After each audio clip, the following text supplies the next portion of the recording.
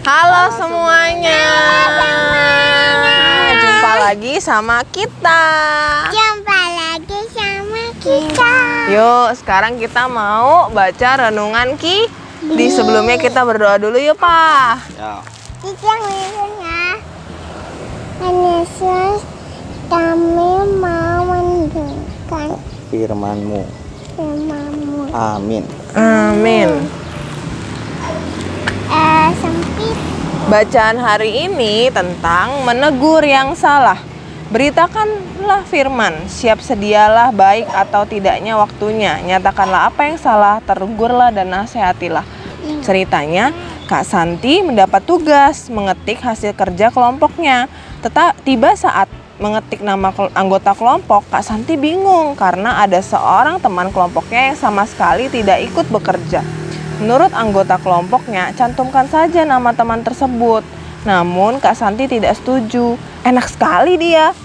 Tidak ikut kerja kelompok tetapi mendapatkan nilai. Protes Kak Santi. Sayangnya anggota kelompoknya memiliki pendapat berbeda. Biar dia tidak marah San, repot kalau berurusan dengan si pemarah, kata mereka kepada Kak Santi. Adik-adik, kita tentu tidak senang bila menyaksikan hal yang tidak benar bukan? Lalu bagaimana tindakan kita? Yuk baca Timotius 4 ayat 1 sampai 5. Tetapi roh dengan tegas mengatakan bahwa di waktu-waktu kemudian ada orang yang akan murtad lalu mengikuti roh-roh penyesat dan ajaran-ajaran setan. Oleh tipu daya pendusta-pendusta yang hati nuraninya memakai cap mereka. Mereka itu melawan orang kawin, melarang orang makan yang diciptakan Allah supaya dengan pengucapan syukur dimakan oleh orang yang percaya dan yang telah mengenal kebenaran. Karena semua yang diciptakan Allah itu baik dan satu pun tidak ada yang haram.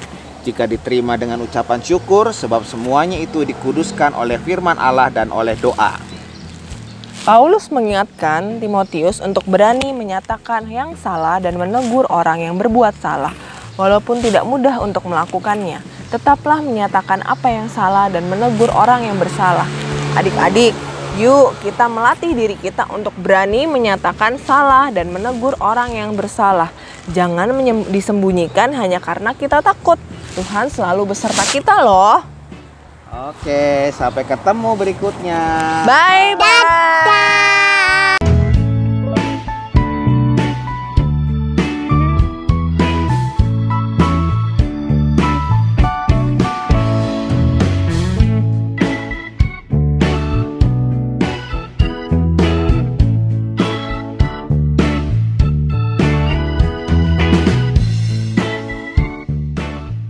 Sahabat, mari dukung pelayanan dan pekabaran Injil melalui YKB dengan membagikan link acara ini kepada sebanyak mungkin orang. Dukungan juga dapat saudara lakukan dengan mentransfer dukungan finansial ke rekening BCA ke nomor 450 305 2990 450 305 2990 atas nama Yayasan Komunikasi Bersama.